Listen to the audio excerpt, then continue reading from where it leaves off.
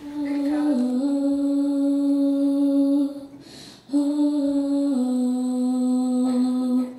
إذا في إطار إحياء ذكرى مجازر 8 ماي 45 آه، ديوان الثقافة والسياحة تحت إشراف المجلس الشعبي البلدي لبلدية سطيف ينظم المسابقة مسابقة سعال بوزيد آه، للمسرح الثوري.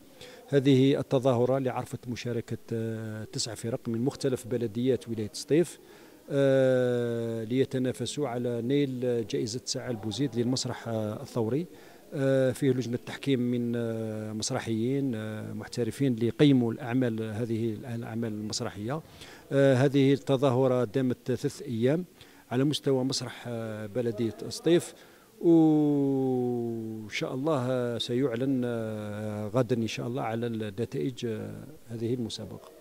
أنا القائدة زياد سارة من فوج حسين بالكيرد قدماء الكشافة الإسلامية الجزائرية فوج حسين بالكيرد. آه، كان لي الشرف اليوم أني شاركت في مسرحية بعنوان الثامن ماي أنجب الحرائر بقلم الدكتورة والقائدة سليماني ليلى. أشكر جميع الفرق المشاركة لعروضهم الرائعة. كما أشكر ديوان الثقافة والسياحة سطيف.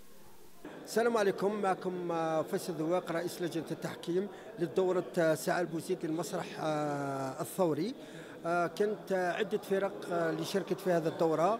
آه، جمعيات اللي عندها تاريخ في المسرح وكاين جمعيات مبتدئة مثل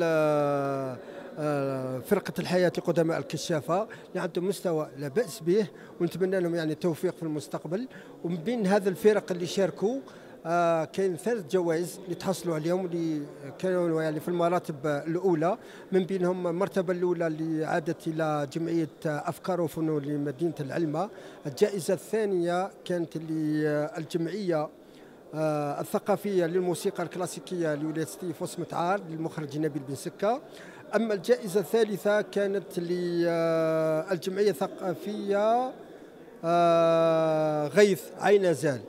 إذا هذه المسابقة عرفت آه، حضور جمهور يهتم بالمسرح الثوري وإحنا نعيش ذكرى عزيزة على مدينة سطيف اللي هي مجازة 845 آه، شفنا حضور تاع الكشافين وكذلك المواطنين والعائلات اللي رافقت أبنائها اللي مروا على خشبة مسرح حسن بالكيرد. اذا كان حضور آه، جماهيري متميز وكذلك كثير من الفنانين وفنانات بلدية سطيف. يزينها العلم الوطني في لوحة جميلة أخرى وحنا نتمنى إن شاء الله الدورة القادمة تكون يعني كاين عدد كبير من الفرق ونتمنى يعني لو تكون كاينة هناك التفاته من ديوان ثقافة لبلدية سطيف والمجلس الشعبي لبلدية سطيف اللي هما مشكورين يعني على هذا الفكرة.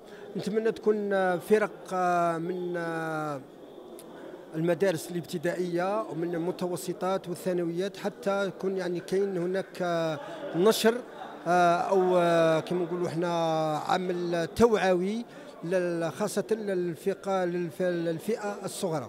ونتمنى إن شاء الله الدورة القادمة يكون عدد كبير للمشاركين ونشوفوا ممثلين جدد إن شاء الله على خشبة المسرح. شكرا.